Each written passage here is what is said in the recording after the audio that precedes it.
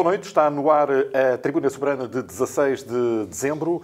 Hoje com os analistas e comentadores Hilário Santos e Paulo Ciara, numa semana de muito caudal noticioso a nível local e a nível nacional. Mas o melhor é começarmos pelas notas iniciais. Paulo Ciara, boa noite. Boa noite, Jorge. Boa noite, Hilário. Boa noite a todo o auditório da Soberania TV. Mais uma vez é um, com muito gosto que aqui estou. E as minhas notas iniciais começariam por eh, um dos assuntos que abordámos na última edição, que é o Covid. Portanto, o Covid está ao rubro em Águeda, estamos quase no primeiro lugar nacional. estamos em 14 com números assustadores. Nós tínhamos falado aqui da questão do Águeda é Natal. continuam, continuam milhares e milhares de pessoas ao fim de semana. É, é algo de assustador e a autarquia nada tem feito.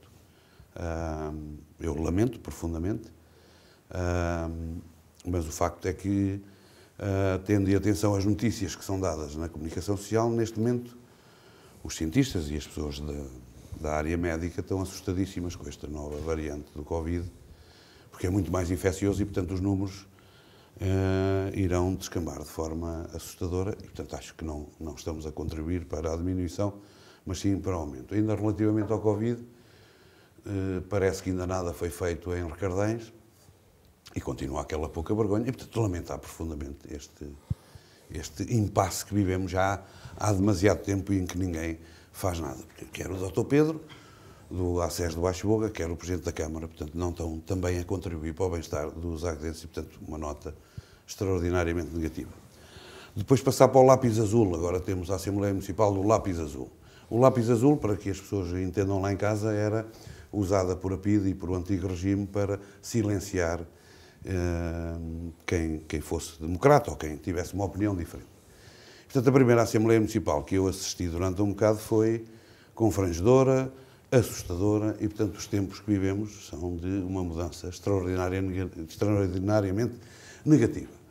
Uh, a tradição político-partidária em Águeda, quer do PSD, quer do PS, quer do CDS e da CDU, que foram os partidos com assento na, na Assembleia Municipal durante este período da democracia, foi um processo evolutivo no sentido de aproximação dos eleitos aos eleitores, com a descentralização das assembleias, com uma série de situações, com a abertura de, de, da possibilidade do público falar no início das assembleias, dar a possibilidade para que o público e as pessoas falassem no fim das Assembleias. E, portanto, neste momento, este, esta, esta situação dúbia, que eu também não chego a perceber muito bem, porque ainda hoje no Jornal de Soberania uh, o deputado Moreira fala no Juntos, PSD, MPT. Mas eu não conheço nenhum Juntos. Neste momento há PSD, MPT, é o que legalmente existe. E, portanto, continuam com este embuste, continuam com esta mentira, mas a caminhar num mau sentido, que é tentar silenciar as pessoas. Eu tinha uma outra expectativa acerca do Presidente da Assembleia Municipal, Dr. Filipe, que eu conheço há muitos anos e tinha, portanto, uma expectativa extraordinariamente positiva que, na primeira Assembleia, ficou agorada. Porque acho que, a dada altura, ele dá uma explicação que é de lamentar, dizendo que aquela história dos deputados falarem 5 minutos mais 5 minutos era porque haviam alguns que monopolizavam o, o, o tempo na Assembleia. Eu, eu, queria dizer ao Sr. Dr. Filipe Almeida, ao Sr. Presidente da Assembleia, que, muito provavelmente, como nunca esteve muito envolvido na política, há deputados que há décadas que não falam na Assembleia Municipal e que se vão perpetuando lá. Não falam. Nunca lhes ouvi uma fala em plena Assembleia. E, portanto, fala quem tem capacidade. Fala quem é capaz de acrescentar, de questionar de, de apresentar propostas, de, de, de, apresentar dúvidas, de pedir esclarecimentos. Portanto, não, é o presidente, não cabe ao Presidente da Assembleia democratizar as coisas por forma a que todos falem. Não fala quem quer e quem pode e quem sabe. Uh, portanto, eu lamento profundamente uh, tudo o que se passou nessa primeira Assembleia.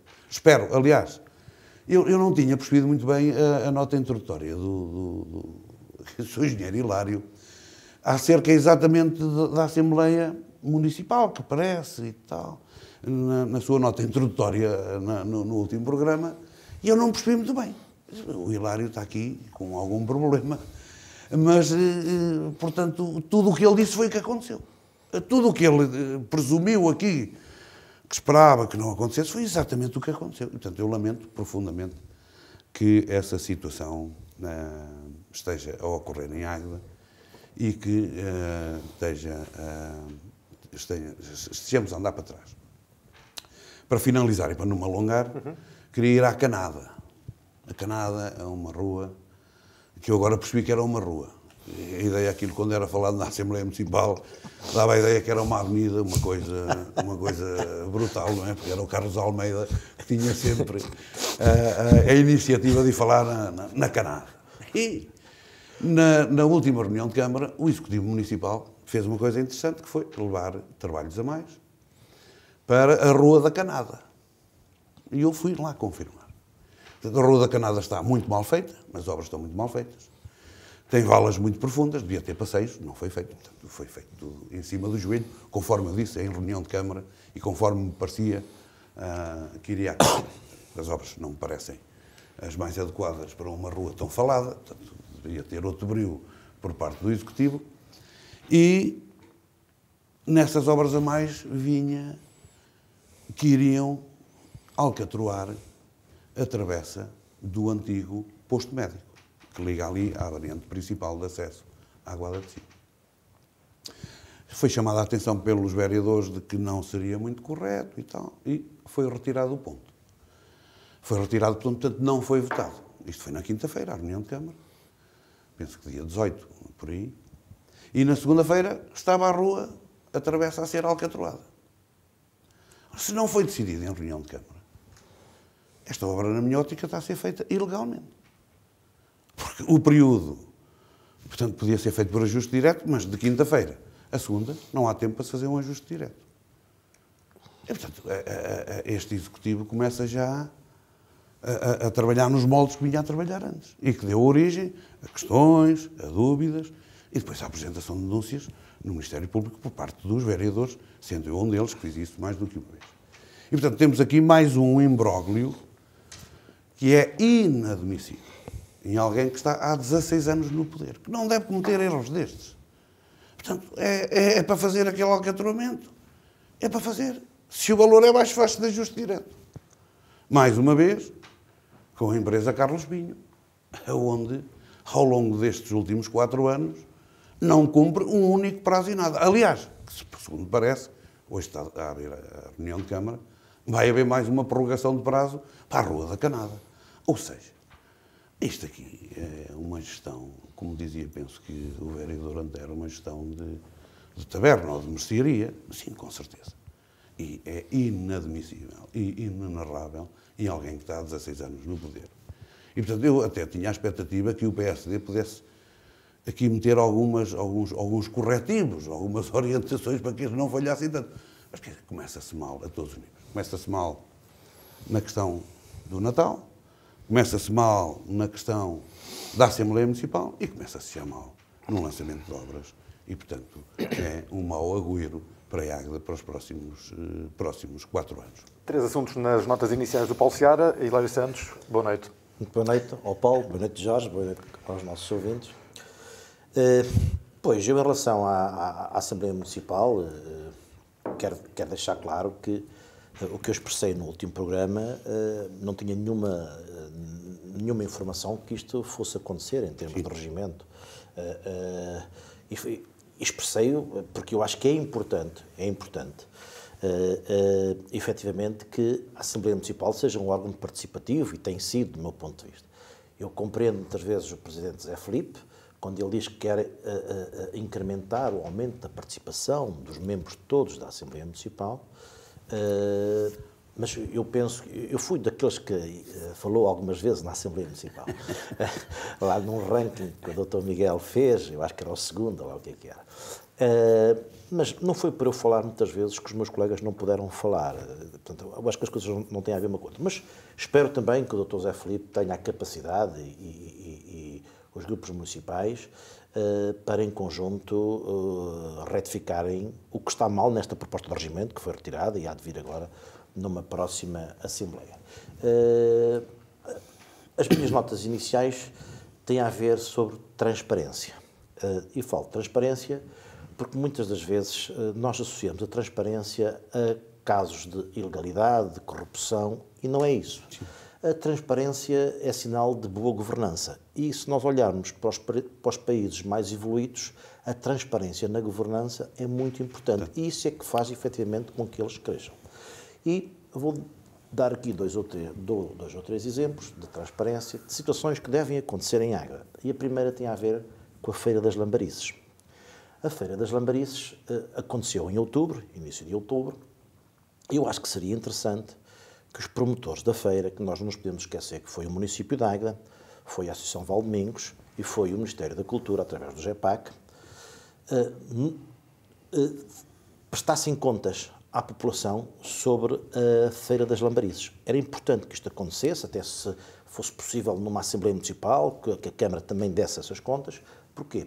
Não nos podemos esquecer que o Estado, nós, os contribuintes, apoiamos eh, este evento com 250 mil euros e que o município também terá dado na ordem dos 250 mil euros entre eh, bandas, apoios ou, ou mais é mais, é mais. Ou é mais, mais é ou mais, além de toda a bilheteira que foi cobrada, que são outra vez os munícipes a, a, a, pagar. E não nos podemos esquecer que esta Feira das Lambarias, pelo menos foi assim, foi-nos assim explicado, que este ano era assim, porque o orçamento era claramente elevado em relação à realização, ia sobrar muito dinheiro, e portanto o dinheiro que viesse a sobrar era para se preparar a Feira das Lambarices para o próximo ano. Foi assim que nos foi explicado em, em reunião de Câmara. É muito importante que a Câmara e os órgãos envolvidos, neste caso, nós no nosso município temos a ver com a São Valdemingos e com, e, e com a Câmara Municipal, eh, dessem contas à comunidade do que é que foi a Feira das Lambarizes, qual é o resultado final, o que é que nós conseguimos apurar para a realização do próximo ano, o que é que são os presentes, que as pessoas presentes, todo este tipo de situações, até porque a Feira das Lambarizes teve uma coisa diferente do Agitagda. Foi um evento pago e é importante que até os municípios consigam perceber as diferenças entre uma situação e outra. Portanto, isto, quando eu falo de transparência, não é que lá tenha havido alguma coisa de ilegal, não é nada disto. Tem a ver prestar contas. A segunda situação que eu falo. Hilário, só uma Sim, sim, sim. É importante dizer que uma coisa pode ser ilegal e ninguém, e, e, ninguém se tem apropriado de nada. Portanto, aqui a questão não é. Certo. Não estamos a pôr em causa a seriedade das pessoas. Às não, vezes não. os procedimentos é que não são Prestar corretos. contas. Prestar contas, Prestar obviamente. Para, para, que nós percebamos exatamente no que é que estamos a investir o nosso, o nosso dinheiro. Insisto nisto, o Estado e o município investiram mais de 500 mil euros num processo deste tipo. Temos que saber uh, destas contas. A segunda situação tem a ver com, com a Assembleia Municipal, uh, não na ótica que, tu, que o Paulo disse, mas noutra. Eu falei aqui na última reunião sobre a transmissão das reuniões da Câmara Municipal. Parece que não é para aí o caminho ainda. Pelos vistos, não eras tu o problema, Paulo. Já estou mais descansado. Pelos vistos, não, não serias. Era bom que isso acontecesse, mas eu, ao fim de muitos anos, voltei a assistir à Assembleia Municipal no público. Era uma coisa que não me acontecia nos últimos 24 anos, basicamente. E, portanto, não tenho essa experiência de assistir à Assembleia Municipal no público. E o que é que aconteceu? Eu cheguei lá e eu, que até sou uma pessoa que eu me considero, ao nível dos assuntos da Assembleia Municipal, minimamente bem, bem, bem informado, senti-me ali um bocado perdido. Porquê? Os assuntos são, estão, estão a ser discutidos e nós não sabemos o que é que está a ser discutido o público, as pessoas que estão a participar, que estão a ver, não sabem exatamente o que é que está a ser discutido. E vão ouvindo umas intervenções de uns e de outros e não conseguem perceber exatamente isto. Ora, nós, quando queremos a participação das pessoas nas Assembleias Municipais, nas câmaras municipais, nas reuniões de Câmara, por isso é que elas são todas públicas, queremos que as pessoas venham participar para nos ajudar, muitas vezes, a darem a sua opinião e tudo isto. E qual é a minha sugestão? São duas. A primeira é que encontrássemos na Assembleia, que está, quando está a ser transmitida, para as pessoas que estão presentes e não só, que as pessoas que estão a ver na televisão e que estão a ver naquele local saiber, soubessem quais são os pontos que estão em causa. Porque muitas vezes o Sr. Presidente da Assembleia Municipal lê o ponto, mas a pessoa não está a acompanhar aquilo que tivessem afixado em algum lado, na, por exemplo, no centro de artes, na parte de trás, em vez de estar só, só, o símbolo da Câmara Municipal, podia lá estar exatamente o ponto e até se conseguíssemos acompanhar com alguma situação mais. E a segunda seria, por que não, os assuntos que vão à Assembleia Municipal eh, e os documentos destes assuntos estarem disponíveis no site da Câmara para a população poder acompanhar estes pontos. Porque de certeza absoluta que a população participava mais. Nós queremos que as pessoas participem, temos que arranjar a maneira de as chamar a virem, a, a virem participar. Ou se a ideia não é só dizer participem, mas, mas não participem. A ideia deve ser participem e contribuam. Portanto, são estas minhas duas notas que têm a ver com transparência, uhum. não tem nada a ver com corrupções ou ilegalidades, sim, sim, tem a ver com boa governança e eu, pela primeira vez, estive no público e senti-me completamente uh, fora d'água, um peixe mas, fora d'água. Mas, mas, mas temos aí um problema. Eu acho que as sugestões estão corretíssimas, atrás basta ter ponto em discussão. É, é projetado e mete-se no ponto. Enquanto é ali. E, e, e, portanto, a pessoa está em casa a ver e, e, vê, e se a pessoa estiver no centro de artes. Agora, mas aí é a questão da disponibilização dos documentos. Então se vai reduzir para dois dias. Eu, eu, eu, acho que essa redução para dois dias, oh, Paulo, eu acho que essa redução para dois, eu acho que houve ali um conjunto de situações que eu. Uh, se reduz para dois dias. Eu assisti. Uh, Hilário, nós temos a experiência do que é uma reunião de Câmara, do que é uma Assembleia Municipal. E, portanto, 10 pontos, para nós podermos... Eh, não, eu não creio que isso vá acontecer.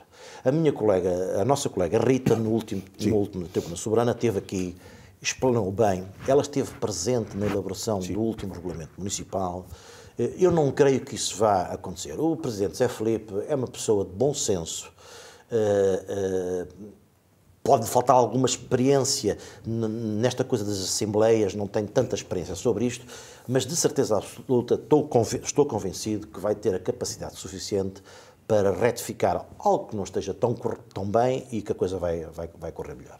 Muito bem, estão lançadas eh, e dissecadas as notas eh, iniciais. O Executivo da Câmara Municipal de Águeda já elaborou as grandes opções do Plano e Orçamento para 2022 e é por aqui que começamos a dissecar os assuntos da semana. Alguns dados a reter deste documento, que tem 202 páginas.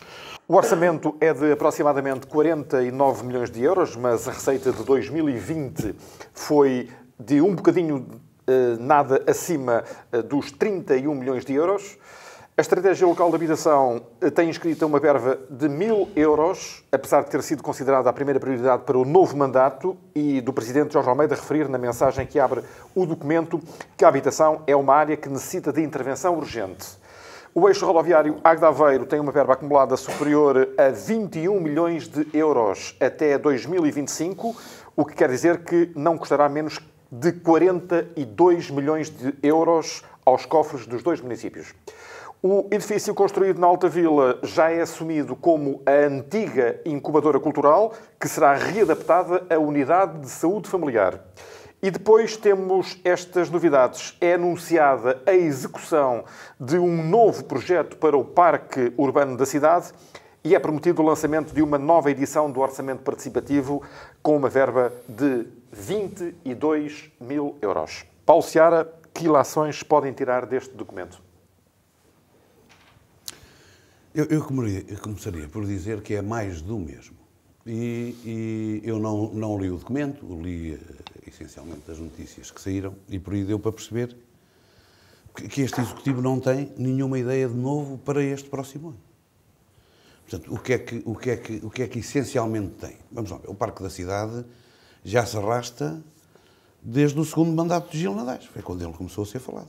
E, portanto, o último mandato de Gil Nadais, eh, o parque era, era para ser feito e no mandato dos Juntos, o parque era para ser feito. E agora parece que agora há um novo parque.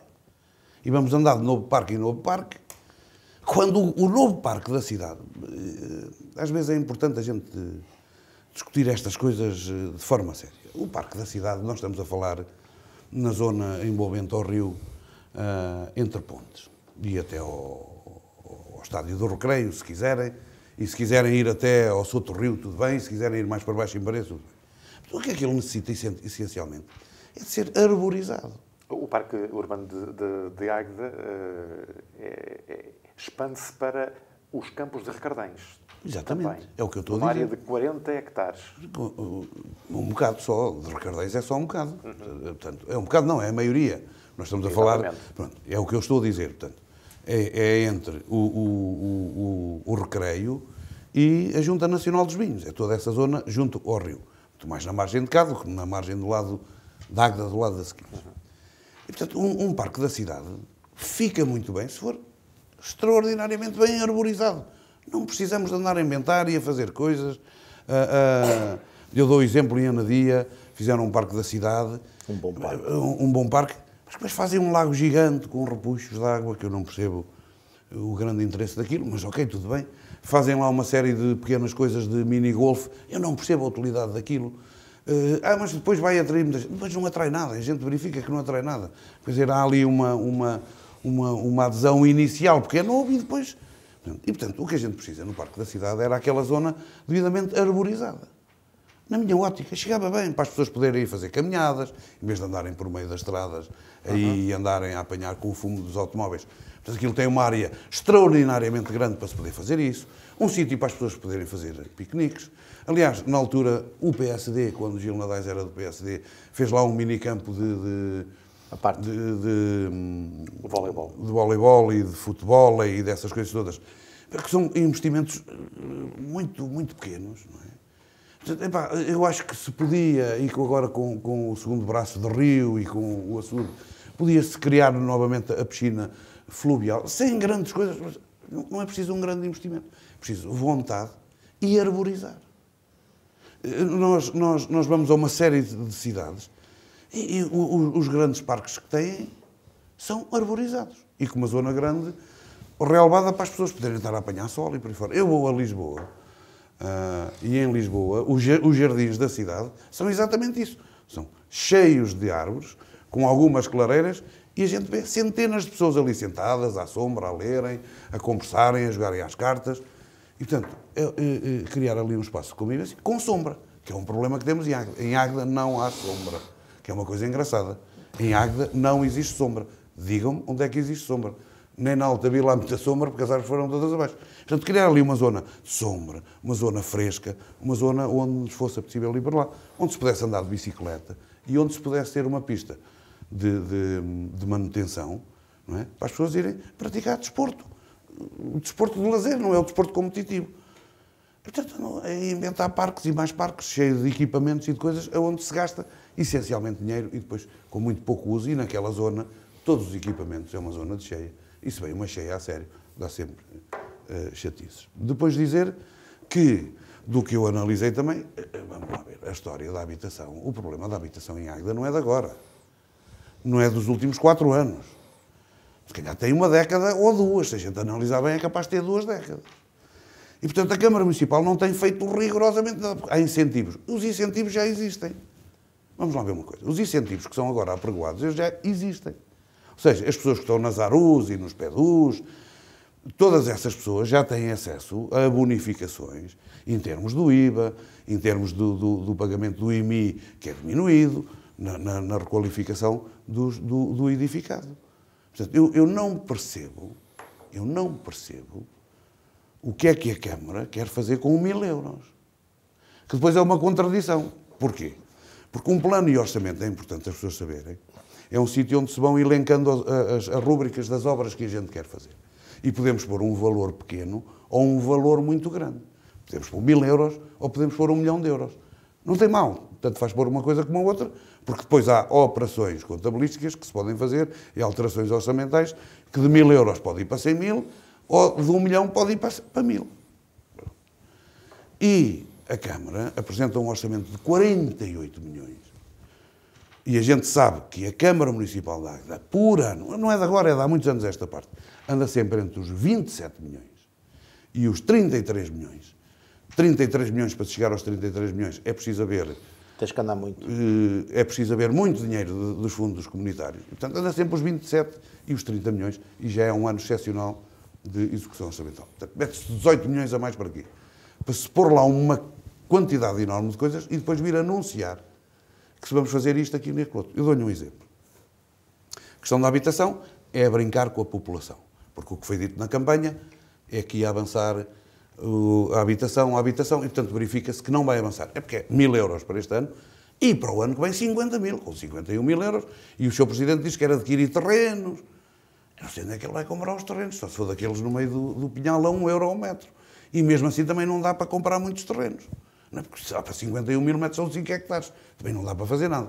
É uma, é uma brincadeira que ele está a fazer com o, o eleitorado, que, que enganou com, ao dizer que ia ser isso. Depois dizer que todas as obras que estão são as obras que vêm de trás todas. Não há nenhuma, rigorosamente nada, nova, nenhuma. Uh, junto ao prédio da Caixa. Portanto, a habitação social em Águeda é ali o prédio da Caixa. Mas essas obras já deviam estar acabadas. Essas obras foram decididas no mandato anterior e, teve, e ficaram paradas e já deviam estar feitas. Portanto, ele veio anunciar junto a, a... Depois temos a, a, regeneração urbana nas freguesias. Não há nenhuma das, das, das, obras aprovadas, ou que ele diz que agora é, é o orçamento agora é que vai, que é o que eles andam a dizer há uma série, agora é que vai, agora é que vamos fazer. A regeneração na zona central da Borralha já vem do mandato anterior. Em Fermentelos foi a concurso e ficou deserto. Na Morisca foi a concurso, ficou deserto. E as obras arrastam-se por tempo indeterminado. E as vêm sempre dizer, agora é que vamos fazer. Tem aquela... Na Morisca, já, entretanto, já se iniciaram? Já, não, já se iniciaram no mandato anterior. E depois pararam. Exatamente. Em, em Fermentelos, eram 400 e tal mil euros, e ficou deserto porque afinal queriam mais dinheiro. E depois não era nenhuma regeneração urbana. Porque a gente for à Morisca, e é preciso dizer isto às pessoas, é entre as traseiras do, do, do museu um, do museu da região de Boga, da região de Boga e a capela lá à frente um bocado mais, onde, onde tinha o antigo BPI. Isso é que é a regeneração urbana da, da, da Morisca, de uma freguesia. Em Fermentelos é entre o antigo BPI também e a seguir àquele, àquele, àquela rotunda que tem a seguir à igreja. Esse bocado, quer dizer, a zona que tem um, um constrangimento em Fermentelos, foi que eu chamei a atenção, que era a zona que precisava de maior intervenção, não tinha. Portanto, estamos a falar de um orçamento que não é admissível para quem está há 16 anos na Câmara. Não é admissível para quem assumiu o poder há 4 anos e, portanto, teve tempo suficiente para planificar e desenvolver projetos para agora sim as freguesias, porque há quatro anos era agora é que é as freguesias, como agora. Portanto, o que estamos a verificar é que não há nada direcionado às freguesias. E, portanto, estamos a, falar numa, numa política de navegação à costa, eh, eh, de gestão meramente eh, corrente, é uma gestão corrente, sem visão e sem forma de catapultar a água para o desenvolvimento que é necessário. Portanto, não vejo nenhuma obra, nenhuma, que, que, que seja nova. É o hospital, está aí. É o, o, centro de saúde que está aí. Obras vem tudo de mandato anterior. Ou seja, não há uma única obra nova, uma única. E as que há novas é vamos fazer um novo projeto para o Parque da Cidade. Depois, relativamente, e, e, para finalizar, porque já me estou a estender muito, relativamente à questão da incubadora cultural, vamos lá ver. O meu avô tinha uma chocadeira, é, mas mais tarde. E aquilo é uma chocadeira como o meu avô, que era uma, tinha uma lâmpadazinha e os ovos andavam até nascer o pintainho. Ali tem a luzinha, mas não tem ovos. E, portanto, a chocadeira municipal, que é o, é o nome que eu lhe dou àquilo, serviu só para chocar uma ideia, que nunca deu pintainho nenhum, portanto, aquilo não dá nada. Vocês reparem, há quantos anos é que a incubadora cultural está feita? Mal feita no sítio onde foi feito. Porque foi colidir completamente com a zona envolvente e com o Parque de Alta Vila. É uma monstruosidade, na minha opinião, que ali está. E reparem para o que é que ela serviu. Serviu para, para o Instituto Mahanga, do, do, do, daquela empresa da SACDI, Mahanga, e, e, e, depois teve lá durante uma temporada o, o Conservatório. Que em reunião de Câmara eu disse que obras? o Conservatório é que lá deveria ficar. E aí teríamos. Porque, e, e expliquei o porquê. Porque, primeiro, estavam contentíssimos com o espaço. Com o espaço. O espaço adequava-se às suas necessidades. E mais, e era uma forma de potenciarmos uh, uh, uh, a Alta Vila. Porquê? Porque, por exemplo, durante a primavera e o verão, muitas aulas seriam dadas cá fora. E, portanto, muita gente se deslocaria para o jardim, inclusivamente teríamos um jardim musicado, não é? agora como no Natal metem colunas, ali não. Era música com as nossas crianças ali. E, portanto, seria interessantíssimo. O espaço é interessantíssimo. E não. Portanto, agora aquilo vai para o centro de saúde, há obras no centro de saúde, e depois há de sair lá o centro de saúde e há de ir para lá, como aquela... Como, como Gastou-se um milhão de euros para nada. Exatamente. Não, faz-me lembrar ali o Canário Lucas. Quer dizer, há uma fábrica que, que, que incendeia vai para lá uma, depois sai a outra que incendeia vai para lá outra, e, e, depois, e, vamos lá fazer alguma coisa. E aquilo é, conforme vai havendo problemas, vão para lá as fábricas. E ali é a mesma coisa. Portanto, isto é, vamos lá ver uma coisa. E nós temos que discutir isto com as pessoas e temos que discutir isto de forma séria. O dinheiro da comunidade europeia é dinheiro que a gente tem que pagar. O dinheiro não vem, vamos lá ver uma coisa. A gente julga que o dinheiro vem da Europa para aqui e que a gente pode gastar à tripa forra. Não é verdade. O dinheiro vem e a gente tem que dar contas deles. E temos que mandar para lá a, a, a nossa parte. E, portanto, porque é dinheiro da Europa? Tem que se investir e fazer, porque o dinheiro da Europa é para isso. Portanto, vai-se não ao essencial, mas ao acessório. E reparem que há muitas coisas que são acessórias que foram feitas, em vez de terem sido feitas das essenciais. E eu, ao longo dos anos, sempre contestei isso e hei de continuar a contestar. E, portanto, a incubadora cultural é exatamente isso. É, é mais uma, um Fediver que a Águeda tem, que custa dinheiro, que custa em manutenção e que vai servindo para tapar. É, é, é, no fundo, é um milhão de euros que é um remendo, ele próprio, e que vai servindo para remendar. E, portanto, eu tinha dito que este executivo era amador, é amador, demonstrou mais uma vez.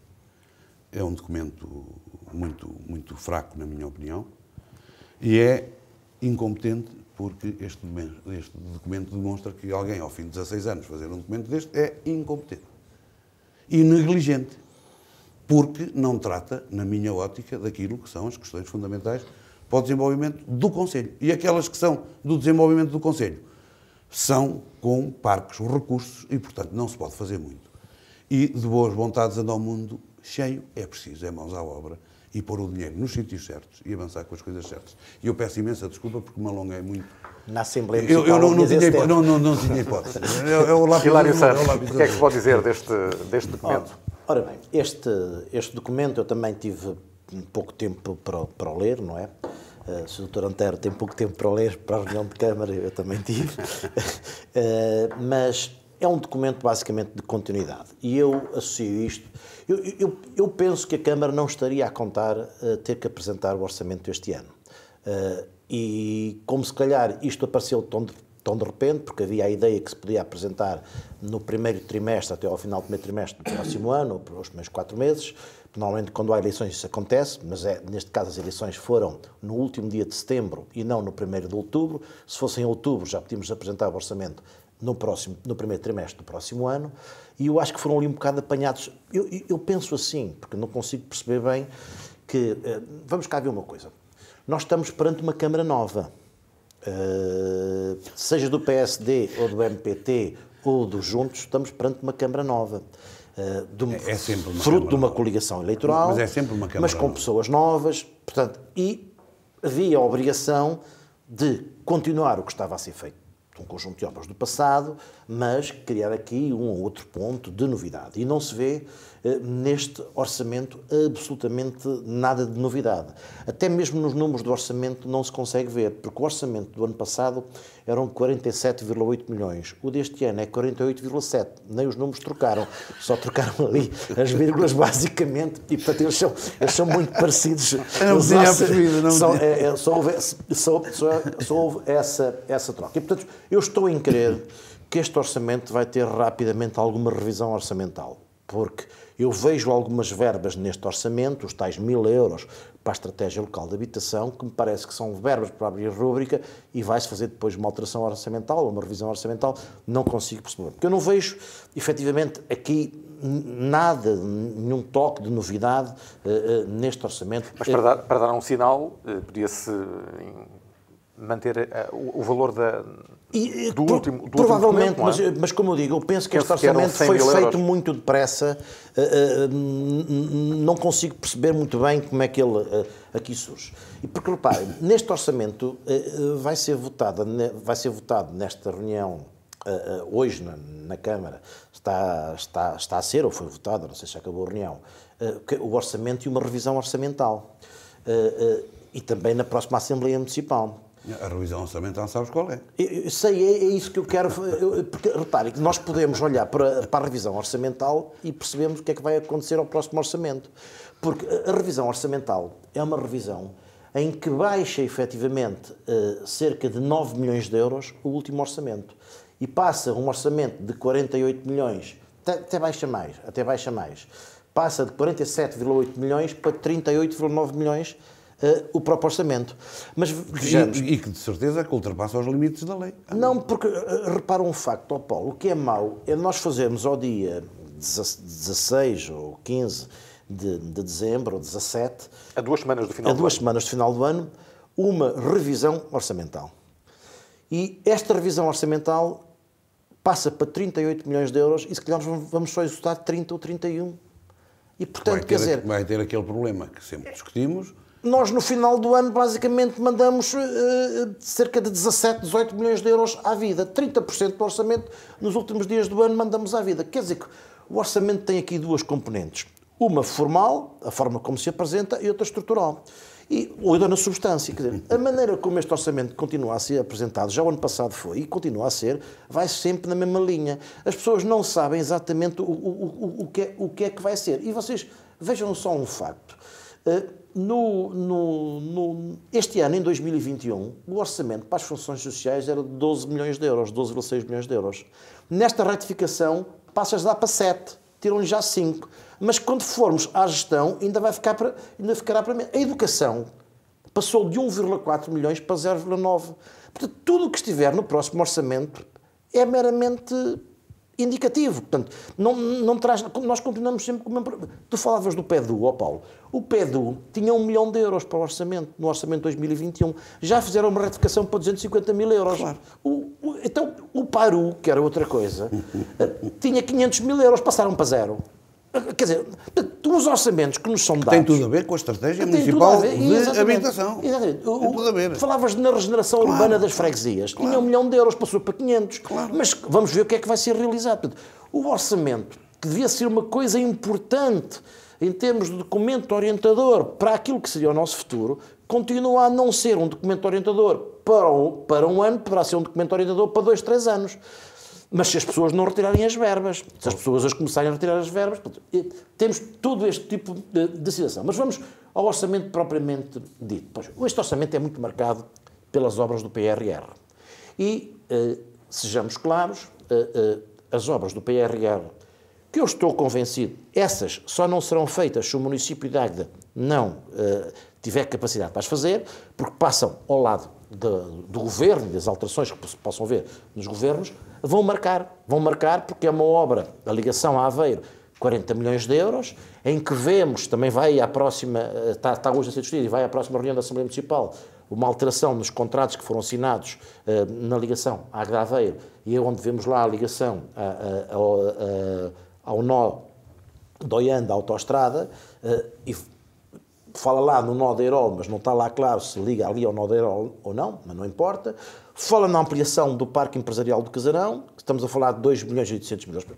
Vamos cá ver, este orçamento tem 2 milhões e 700 mil euros para fazer a, parque, a ampliação do Parque Empresarial do Casarão. E vão-me pôr 2 milhões e 700 mil euros que vão fazer a ampliação toda no próximo ano, em 2022. Não vão. Claro que não. Estamos só a ocupar a verba e estamos só a pôr ali. eh, Não faz sentido. Eh, eh, E, portanto, é um orçamento muito marcado pelo PRR. Como eu já disse, Águeda Aveiro, ligação ao Parque Empresarial do Casarão e ampliação do Parque Empresarial do Casarão. São, efe- efetivamente, três, três eh, chaves sobre isto. Mas só em relação quando se fala sobre as obras, sobre os fundos comunitários, nós temos que perceber uma coisa. Nós, os fundos comunitários, que andam para aí em média em termos de apoios entre 65% e 85%, está para uma média de 75% à volta disso, de apoios, nós com 2 milhões de euros realizamos 8 milhões de euros de, de obra. É muito importante que haja projetos, projetos válidos, eh, que não se ande nos projetos a fazer esse tipo de situações que tu falavas sobre o parque urbano, que é um bom parque urbano, mas com, em Portugal temos esta coisa de pôr umas, umas situações supérfluas que não interessam a ninguém, para podermos aproveitar esta onda dos fundos comunitários que qualquer dia estarão a acabar. No entanto, eh, eh, tem também o mercado, evidentemente que sim. A estratégia local de habitação, eu percebo que estão lá os mil euros, mas isso tem, tem, tem, tem que ser alterado e tem uma grande componente de apoio na área do turismo, como nós sabemos. Nós continuamos com a Gitagda com 700 mil euros, continuamos com o Centro de Artes com um orçamento de 600 mil euros e continuamos com apoios ao comércio no valor de 832 mil euros. Estamos a falar dos apoios ao comércio, basicamente é as festividades de Natal, estamos a falar de, de, de, daquele programa de apoio uh, aos comerciantes no valor de 100 mil euros, ou o que é que seja, uh, e depois mais alguma comunicação e um conjunto de outras situações que andam por aqui.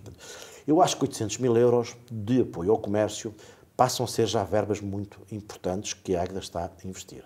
Eu acho que temos que melhorar aí o critério. Eu penso que este apoio ao comércio deve ser mais dividido ao longo dos, ao longo dos meses, não pode ser tão concentrado. São valores já muito importantes. Portanto, concluindo sobre. Há outras questões, como uh, o reforço na parte das luminárias. É importante alterarmos as luminárias em todo o Conselho, que estão muito gastas, estão a maior parte delas fundidas e não funcionam. Há coisas boas também no orçamento. havia um acordo no, no, no mandato 3 anterior. mil e tal junto à EDP e mil luminárias que a Câmara vai pôr. Certo? certo? E onde é que elas estão? Sem dúvida. Penso que as andam a pôr. Agora, o que eu acho é, este orçamento vai ter alguma revisão uh, rapidamente. E quero deixar uma nota sobre as juntas de freguesia. Não consigo perceber muito bem, porque parece-me que há uma redução de verba para as freguesias. E isso não é aquilo que estava anunciado.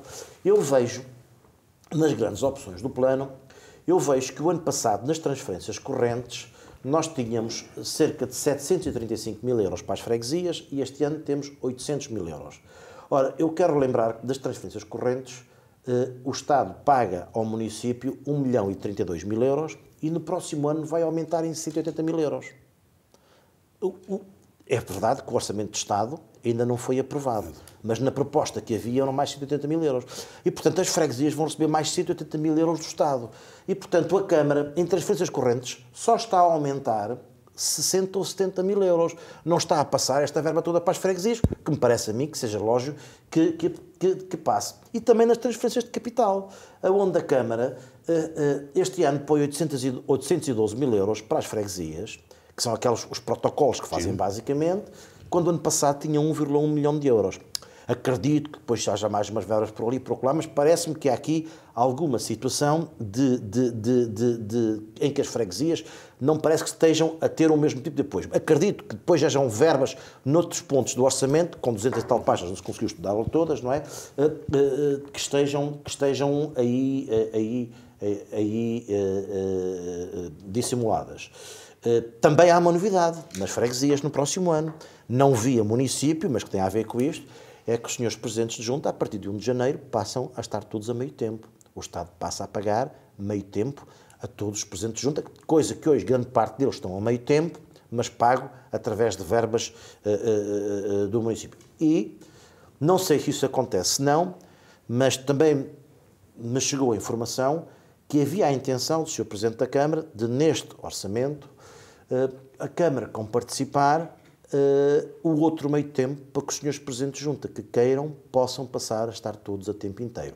Não sei se esta ideia se chegou a concretizar ou não, eu não a vejo concretizada no orçamento, pode não passar de uma ideia que esteja a, a, a ser germinada, germinada mas uh, faz parte de, de um processo que nós muitas vezes temos falado, que os presidentes de junta têm que têm cada vez mais coisas para fazer, são cada vez chamados muitas vezes ao ativo no seu dia a dia e, portanto, aqueles que queiram e possam poderem estar a tempo inteiro seria efetivamente uma situação não, interessante. Não, não compreendo. Não, não, compreendo o que é que a Câmara tem que participar o vencimento do Presidente da Junta. São órgãos autónomos. Eu sei que são. Não tem mas nenhuma. as freguesias têm poucas receitas e a Câmara, eh, se puder. Reparemos, um Presidente de Junta é um braço armado da Câmara. Mas, Eles são órgãos autónomos, mas são e, portanto, cada vez mais nem, nem se faz, se, cada vez eu, mais faz sentido pode que pode, eh, só há uma freguesia que eu penso que não pode, eh, porque é preciso ter 1.500 eleitores e desde que essa comparticipação não ultrapasse 12% do valor, o, o salário do Presidente da Junta não ultrapasse 12% Sim, do valor do não, orçamento. Não era isso que eu estava a dizer. O que eu estou a dizer é, não me parece ser possível a Câmara pagar meio tempo a um Presidente de Junta. Não é a Câmara que paga, faz uma transferência, faz um apoio, evidentemente. Eu não Bom, sei como é que isso processará. Ouvi falar sobre isso. Acho que isso faria o seu sentido para aqueles que entendam com mais, como tal. Com mais de 10 mil eleitores tem o Presidente Isso já tem, já tem é? pago. E as, que, e as que têm 5 mil também já têm Pronto. outra situação. Bom, eu gostava muito de vos ouvir relativamente às escolhas dos dois principais partidos, o uh, Partido Socialista e o Partido Social Democrata, relativamente às escolhas para as listas de deputados no Círculo Eleitoral de Aveiro, mas já não temos muito mais tempo para uh, esta edição da Tribuna Soberana, porque uh, sugeria que passássemos diretamente para as notas finais. Paulo Seara. Eu, eu dava a palavra ao Hilário, que eu gosto de ouvir as notas finais dele. Não, as minhas notas finais uh, são notas finais, uh, uma, de alimentar a justiça, não é? a atribuição do prémio Águeda Município do Ano. Eu penso que é um prémio muito importante e, portanto, há que, há que, que, que valorizar esse, essa situação. A segunda situação tem a ver com a EST, que é a Escola Superior de Tecnologia e Gestão de Águeda. Uh, e a Escola de Tecnologia e Gestão de Águeda uh, vai, pela primeira vez, ter cinco cursos de pós-graduação em Águeda. Eu penso que isto é uma evolução a Escola muito de Tecnologia da Águeda tem sido uma batalha de muitos anos que todo o município e todo o Conselho tem abraçado.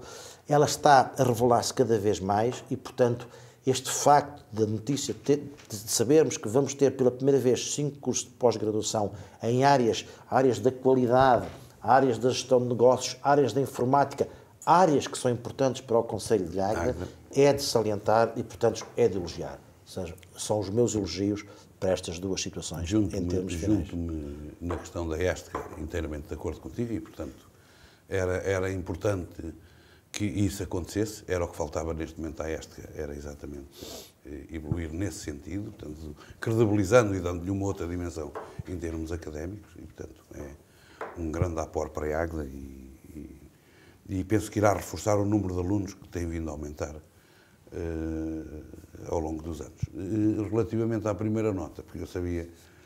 A primeira nota é interessante, portanto, a Águeda é o município do ano, há 306 municípios. 308? Uh, sim, 308. Candidataram-se 44? 44. E naquela, naquela especialidade que a Águeda foi e, e, eleita como município do ano, penso que eram 12 candidaturas. Estou a falar bem? Ou eram Mas menos? tu preferias que não fosse? Não, não, não, ah, não, não. Era só não, para saber. Não, não, não é isso. Não. O que eu estou farto é de medalhas de ouro que a gente depois vai ver e são de pichibec. Temos e que, isso, e isso, temos que saber valorizá-las naquilo que elas são. Não, aquilo que, eu estou, aquilo que eu quero dizer é o seguinte. A mim interessa-me que as pessoas sintam que vivem melhor. Não gosto. E Mas não, podem e não, viver não, melhor com não, prémios, não, Paulo. Não, não, gosto que as pessoas uh, pensam que vivem melhor porque ganharam um prémio. Não, isso não, não é. Tem nada isso a ver não uma é, coisa com outra. Não, mas, mas não é isso. Não, mas o que vivemos sempre é numa, numa fobia ou numa, numa euforia do prémio, na corrida ao prémio. Vem um prémio. Ora, o prémio não quer dizer nada. Porque o número de pessoas que se candidataram aqui, o número de câmaras municipais, foi reduzidíssimo.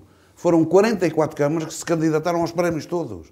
44 em 308. E, portanto, estamos aqui não é, a fazer um, um como é que eu ia dizer? Estamos a encher o peito, como, como os pavões, e depois a gente com uma agulhita fura aquilo e aquilo afinal não é nada. Ou seja, Candidataram-se 44. Tô, tô, Podiam-se ter candidatado uh, 300, toda, 308. Toda. Isto é como uma prova de atletismo. há um que ganha, há 100 que ficam atrás e há 10 milhões que pertencem ao país e que não uma, concorreram. Uma altura, Hilário, quando eu fazia Temos que dar valor não, às coisas que não, têm. Com certeza. Eu quando pratiquei não é por isso que temos melhor qualidade de vida, não, não é não, isso? Não é isso. Eu quando pratiquei canoagem, uma altura ganhei uma prova. a sério.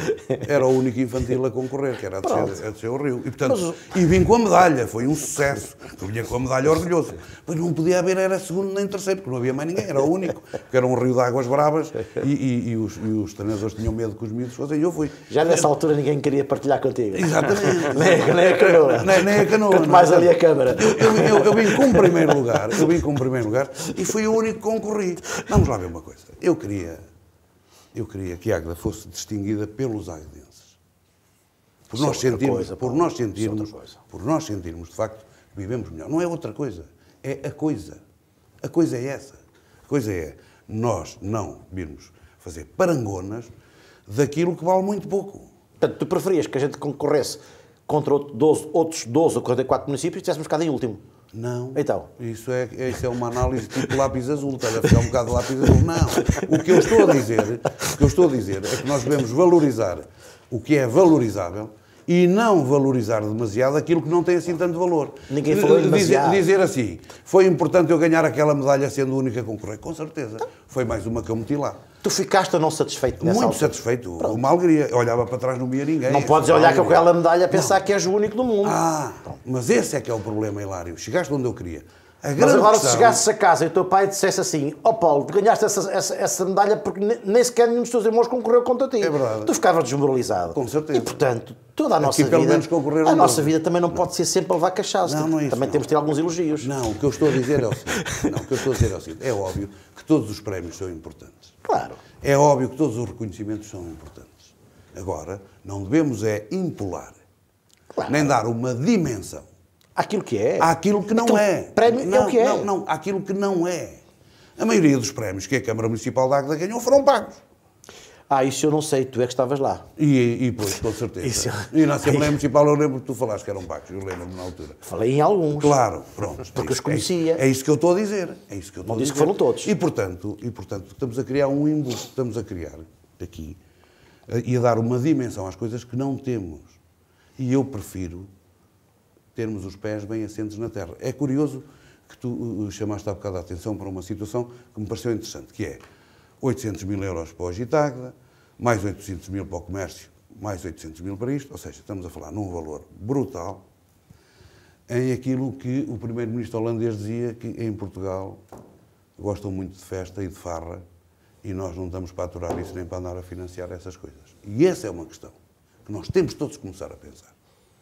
O dinheiro, Temos tem, que o dinheiro tem Transformar esse valor Não, em não, valor não. produtivo. Obviamente. Porque o turismo, Isso o tudo- turismo é um valor produtivo. Nós não, agora vamos, dizer, nós não podemos é pensar, porque agora tivemos no domingo e temos tido domingos e sábados cheios de gente em Águeda, que estamos cheios de turismo. Claro que não. Agora temos que valorizar o facto de termos gente em Águeda. Este é um momento errado, mas não importa. Este é um momento errado. Mas temos que valorizar esse facto. O turismo é uma indústria importante.